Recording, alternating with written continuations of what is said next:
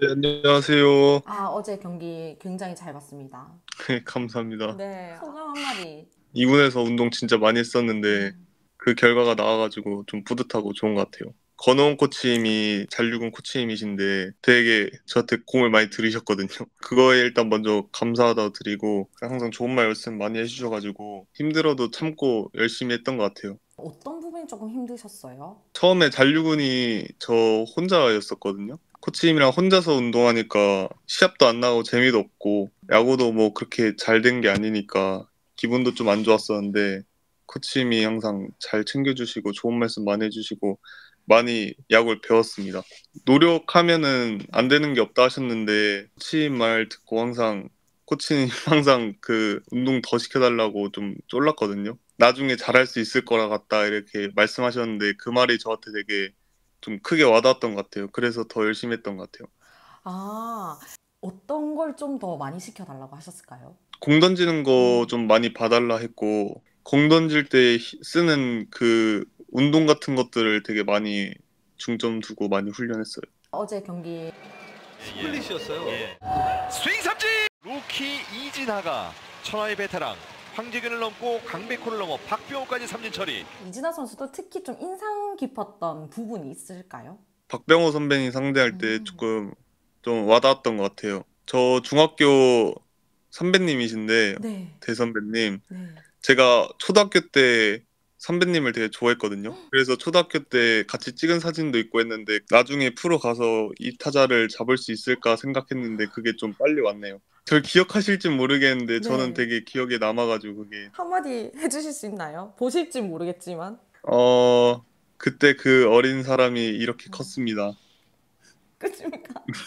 네 아, 또 한 번 더 상대 해보고 싶지 않습니까? 상대 당연히 하고 네. 싶죠. 그때도 제가 꼭 이기게 열심히 던지겠습니다. 아, 삼진 잡고 나서 네. 마운드에서 폴짝 뛴 이진아 선수 스토리에도 있었던 아 네. 네, 그거 어떻게 세- 어떻게 한번 설명해 주시겠습니까? 어 그거 저도 모르게 나온 것 같은데 네.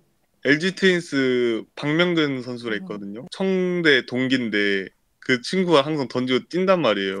아, 근데 그 친구가 제가 왜 뛰는지 캐치볼 웨이트여가지고 물어봤었는데 자기도 모르게 나온다 해서 제가 엄청 웃었거든요. 네. 근데 저도 그런 모습이 나와가지고 저도 좀 웃기네요. 팬분들의 이 보시기에 네. 엄청 순하게 보는 분도 계시고 마운드에 올라갔을 때 짬딱 같다. 네. 어떻게 생각하세요? 어 수, 순하다고는 들었는데 네. 그래도 생각보다 장난기 되게 많은 편인데 아, 그래요? 마운드에서는 뭐 싸움 딱 이런 거는 좋은 건데 저는 오히려 그냥 아무 표정 없이 어. 제 표정을 타자한테 안 들키는 걸 좀 중요시 여겨가지고 어릴 적 오, 프로 지명을 하고 처음과 지금 현재의 마음가짐이 좀 달라진 게 있을까요? 처음에는 잘하려고 더 욕심을 냈던 것 같은데 지금은 오히려 그때보다 마음 편하게 약간 즐기자 약간 이런 생각하니까 그때보다는 좀더 괜찮게 밸런스가 잘 나오는 것 같아요. 프로의 목표랑 그 팬분들께 항상 결과로 좋은 모습으로 보여드리겠습니다. 감사합니다. 안녕하십니까. 아, 네. 식사하셨어요? 네, 방금 먹고 왔어. 데뷔 축하드립니다. 감사합니다. 네, 데뷔 축하드리려고 이렇게 연락드렸는데 왜 영상 통화가 부끄러우 시다고 얘기하셨어요? 그냥 뭔가 가- 이렇게 핸드폰 들고 해야 되니까 혼자 있어서 또 부끄러워가지고 아, 혼자 있어서 더 부끄러워요? 그냥 뭔가 허공에 말하는 느낌.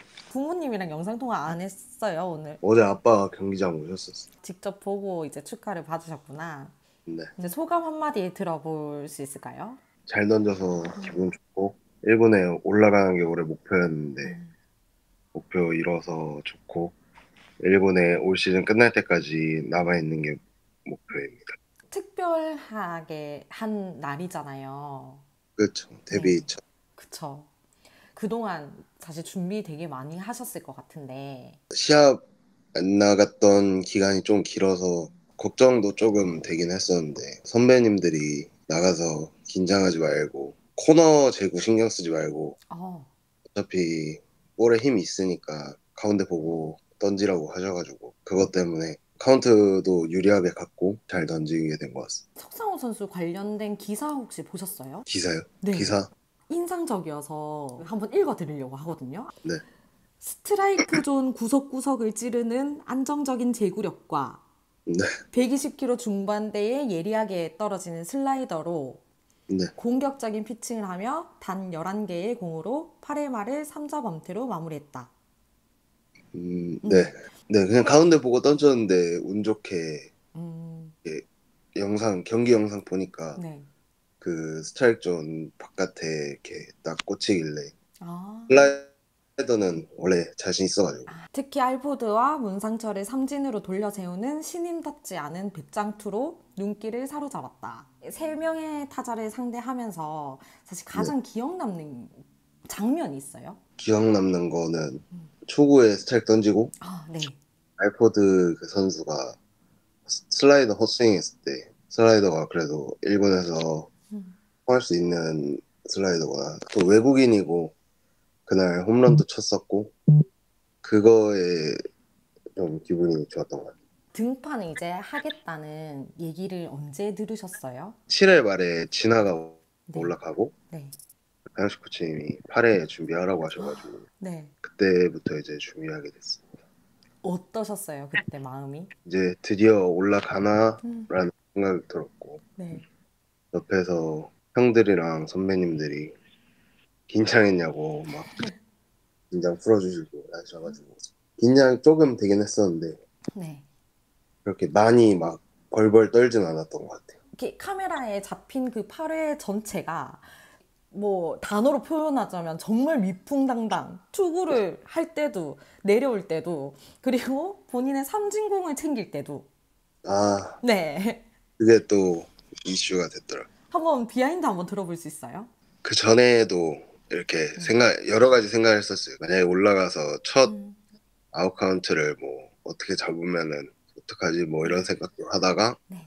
근데 마침 삼진을 잡았는데 점수차가 좀 나니까 라운딩을 안 돌리는 거예요. 그 아, 내야끼리 공 주고받고 하는 거. 네네. 그 볼이 저한테 왔는데 떠가서 이렇게 슬쩍 쳐다봤는데 네. 권수영 권수영인가 네네 맞아요. 볼을 막 이렇게 빼라고 하는 것 같길래 원래도 빼려고 솔직히 했어 첫 아웃 카운트 공이니까 네. 근데 또 그게 김선우 해설위원님이 멋있다고 해주셔가지고 그거 이제 어디다가 보관할 예정이십니까? 집에 볼 케이스 여기도 있습니다. 아, 한번 보여주세요. 오. 와. 마지막으로 각오 한마디. 아까도 말씀드렸듯이 목표는 일군에 시즌 끝날 때까지 있는 거고 네. 어떤 상황이든 도움이 될 수 있는 선수가 되도록 하겠습니다.